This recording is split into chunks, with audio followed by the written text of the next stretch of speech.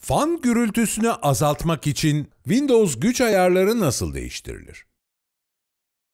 Windows'da başlata basın. Denetim masası yazın ve sonuçlardan seçiminizi yapın.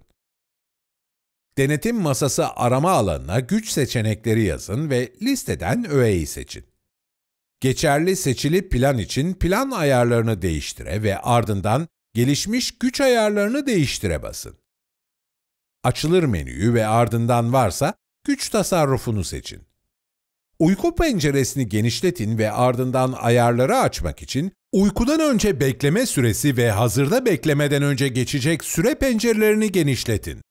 Fanlardaki gereksiz gerilimi azaltmak için her bir ayara dair süreyi azaltın.